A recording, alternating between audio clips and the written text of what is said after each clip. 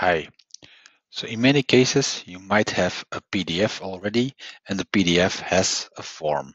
So it can be the case that you have created this in the past yourself and you want to reuse it, or it can be that this comes from uh, other parts of your company or from legal, uh, uh, from uh, the, the community, the city you live in, the, uh, the government you work for, or the government you have to represent.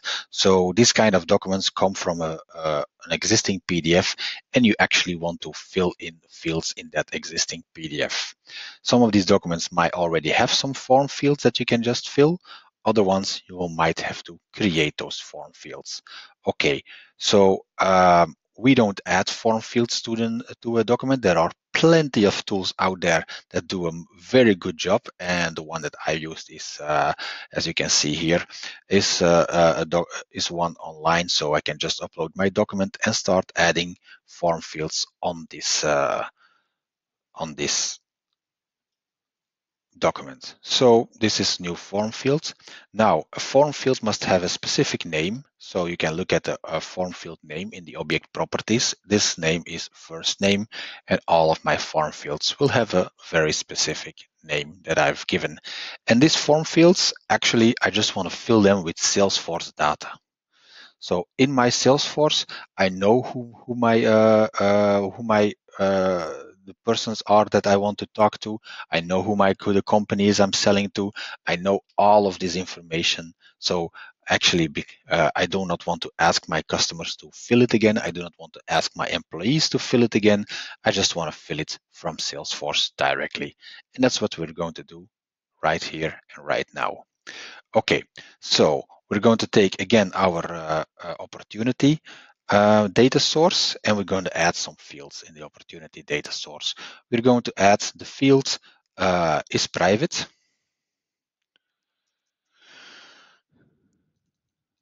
Okay, private. Okay, we go, and we're going to uh, add the field close date just to show you that we can do date formatting and all of this cool stuff.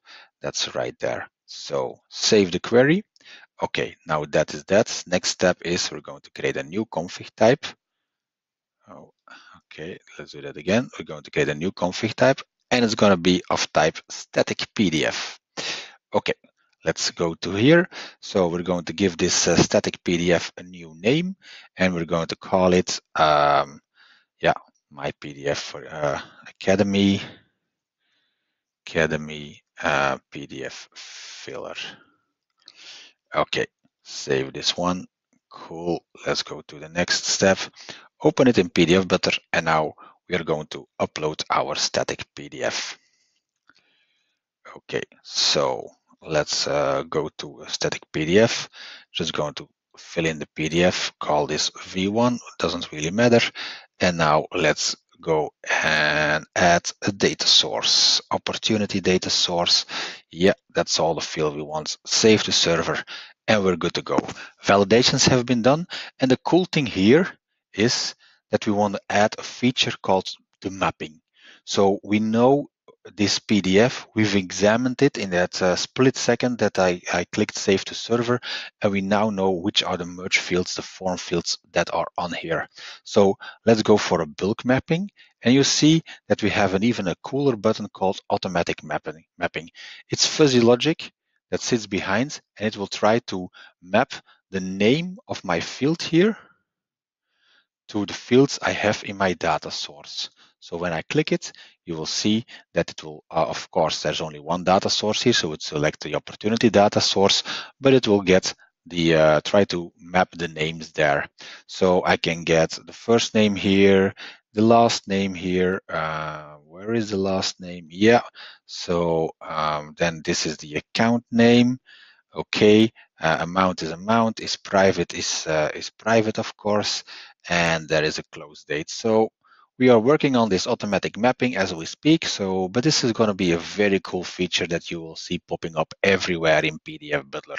So in a split second, I have mapped all my fields and I'm now going in one click going to generate all of the config types. So configuration done, save to server, everything checks out. Now everybody knows what the next step will be. It will be adding this to my data, uh, to my uh, opportunity and adding this to our lightning component. Okay, so let's go to the lightning component. Okay, uh, we select this one, go to this to the straight end of uh, this one and add comma, add my ID. Yeah, it's there. Okay, go back. And let's take a look. Uh, let's take a look at the document that's, that's uh, generated. So if I look at the details, so it's, it's not private, um, but it's going to say Igor Stuiver. Yeah, well, let's uh, let's take a look and then let's do some formatting because I haven't done that. You will see that the amount is there, the uh, date is there, no formatting is done. So now let's take a look at the formatting. Of course, like in every good field, you can format the amount. Okay, it's currency. So of course I want currency formatting and the close date. You know what? I just want to get take one of the out of the box and let's take a full one. Yeah, a very big date. Save the server. Let's do that again. And we'll see. Yeah, see now it's formatted in the uh, uh, currency that uh, my my setup is done, and it uh, did the uh, the formatting of the date. So clearly, I'm a French-speaking uh, person at this moment because it says samedi in French. Okay, the checkbox. Let's also populate that from from here. So I'll just change this one to private. Okay, save it. Refresh. Okay, shouldn't have refreshed, but uh, that's not a problem.